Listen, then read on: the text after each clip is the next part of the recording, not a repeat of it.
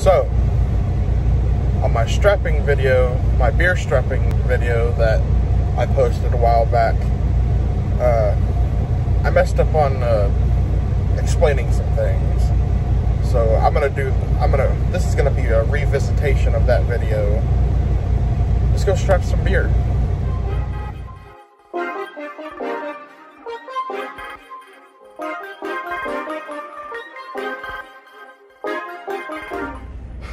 What's up guys? Texas Born Trucker here.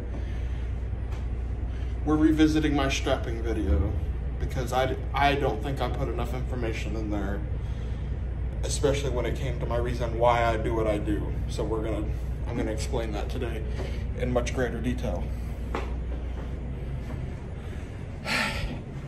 It is July 13th, a Wednesday at 8.07 on the East Coast. I feel like I'm at home because it is humid out here today. Um, yeah, so I'm gonna get started on this. But one thing I want you to take into consideration while I am doing this load is each of these pallets are 30 pack cases of natural light beer in bottles in cardboard cases. Take that into consideration and tell me if you can guess why I do what I do before I tell you.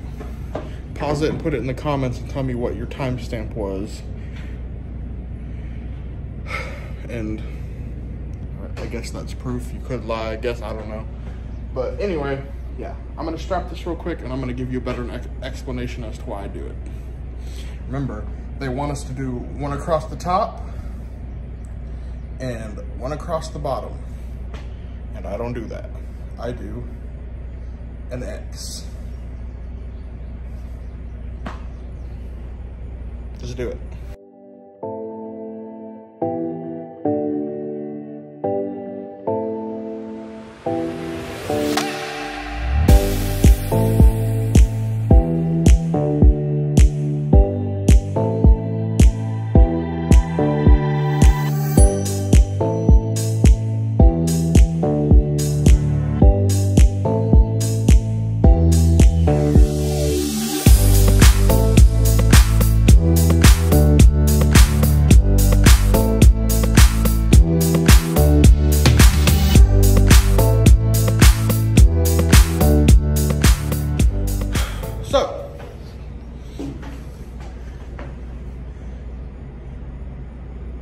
These loads of pallets of beer are 30 pack bottle cases of beer.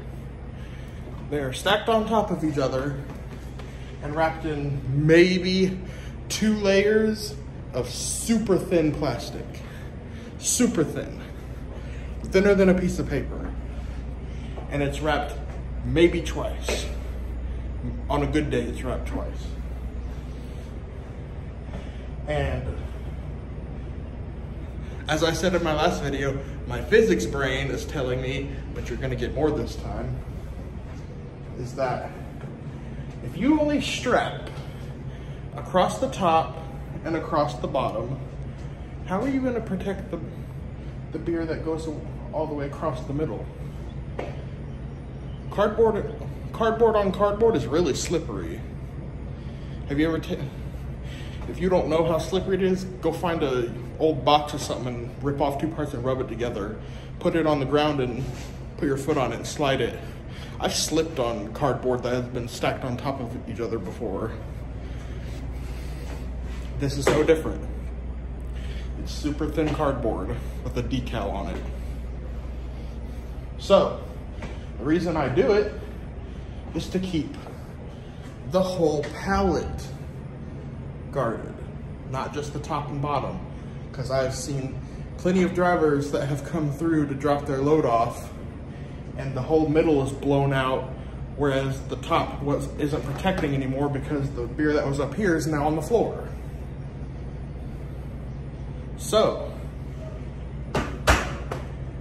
it protects the middle. And that's why I do it. I feel like that's pretty common sense if you ask me, but whatever. But yeah. All right, guys, that was my revisit and explanation of why I actually do this. Let me know what you think in the comments. Like I said last time, let me know if you think I'm right or wrong. But yeah, that's why I do it. All right, guys, I'll see y'all later. I'm actually about to film my weights video to show y'all how to weigh these tractor trailers out. 12 on the steers, 34 on the drives, 34 on the tandems. See ya.